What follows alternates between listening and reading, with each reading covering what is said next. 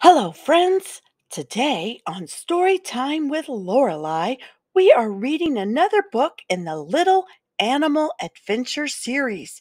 You can find all the other books on my channel. And don't forget to click the like button and share this video with all of your friends. So let's read together Silly Little Hedgehog. Harvey, a very little hedgehog, and his family lived in a hole under an old stone wall. All summer long, the wall gave them shelter because it was covered with thorny raspberry branches and lush green leaves. Whenever the hedgehogs wanted a bite to eat, they didn't have to go very far. Plenty of fruits and mushrooms grew nearby. Most hedgehogs would have been quite content to busy themselves in the bramble, but not Harvey.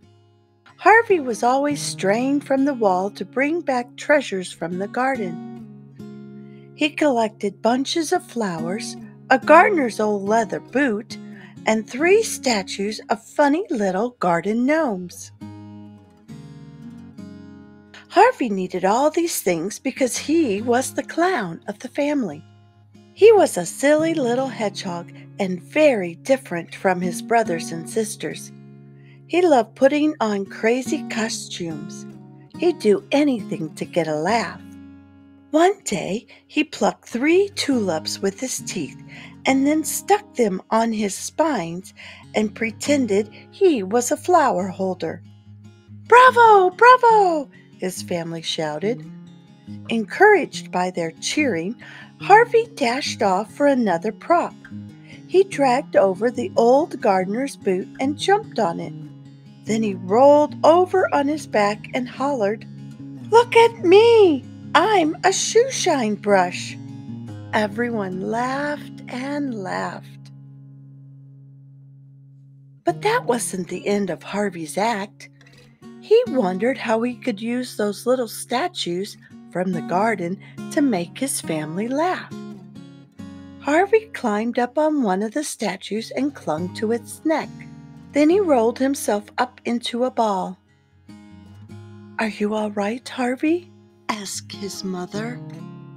Of course I am, her silly son answered. I'm the beard on the chin of this gnome and his brothers and sisters, who had never seen a garden gnome wearing a beard like that before, laughed so hard they all rolled over. Eventually, the gray and dreary days of fall returned. The hedgehog family had to move from their hole under the wall by the beautiful garden. They needed to find a sheltered spot deep in the woods where they would not be too cold. We'll be leaving this evening once it gets dark, Mother said. You must do as I say and watch out for Mr. Owl, children. All that mean old bird dreams of is catching one of you. As soon as night had fallen, the hedgehog family marched off in single file. The tallest one led the pack, while Mother Hedgehog took up the rear guard so she could keep an eye on Harvey. He was always so silly. At first, everything went fine. They even met a lovely young rabbit out for a moonlight stroll. Once they were deep inside the forest, however, they were in real danger. Don't make any noise, children, said their mother hedgehog. That old Mr. Owl can hear everything. But just as she finished warning them to be quiet, Harvey let out a scream. A moth had frightened him by flying right in front of him. All the little hedgehogs panicked. They ran every which way, making quite a lot of noise. Then suddenly Mr. Owl appeared. Without thinking, Harvey ran off the path and found himself all alone at the edge of a field of wheat. He looked up, and there was the owl, just about to catch him. Poor Harvey, he was terrified. He looked for a place to hide. All he could see in the distance was a man standing in the middle of the field, his scarf blowing in the wind. Sir, sir, please help me, cried the silly little hedgehog as he raced towards the man. Now, Mr. Owl wasn't foolish like that little hedgehog. He knew very well that it was only a scarecrow, and he knew that the scarecrow couldn't do anything to help the little hedgehog. So Mr. Owl just flew along behind Harvey, snickering loudly and without any hurry. He was certain there was no chance that the little hedgehog would escape him this time. Suddenly, a gust of wind tore the hat off the scarecrow. The wind blew it up in the air and then sent it flying down right on top of Harvey's spiny little back. The owl soared higher up into the air, circling and cackling over his victory. But then, when he looked down again, all he could see was a hat. A hat moving all by itself through the blades of wheat. The big round eyes of Mr. Owl were suddenly wide open. He could not understand what had happened.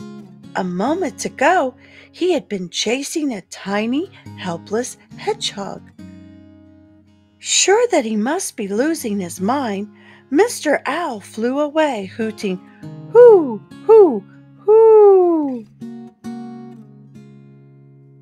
Long time after the owl had left, the big hat could still be seen, scurrying this way and that across the field and screaming, Mama, Mama! Attracted by the loud cries, Mother Hedgehog caught up to the hat. She could tell it was her own silly little son. Dear Harvey, she said, very much relieved, you are so silly. You'll do anything for a laugh, won't you?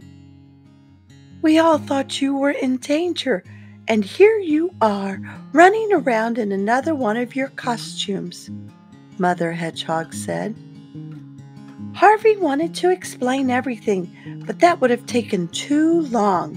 He was so happy to see her that this time he followed along after his mother like a good little hedgehog, holding tight to his new lucky hat.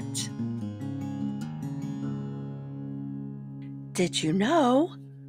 When a hedgehog is frightened, he rolls himself up into a ball, completely pulling in his paws and covering his face. A hedgehog is white at birth and has soft spines. These spines fall out as the tiny hedgehog grows. They are replaced by stiffer spines that are dark gray and hard. Hedgehogs are very clever. They stick pieces of fallen fruit to themselves by rolling over them. They use the fruit stuck to their spines as cushions in case they have to jump down from a high place. During the summertime, hedgehogs live in bushes, in holes along old walls, or in haystacks.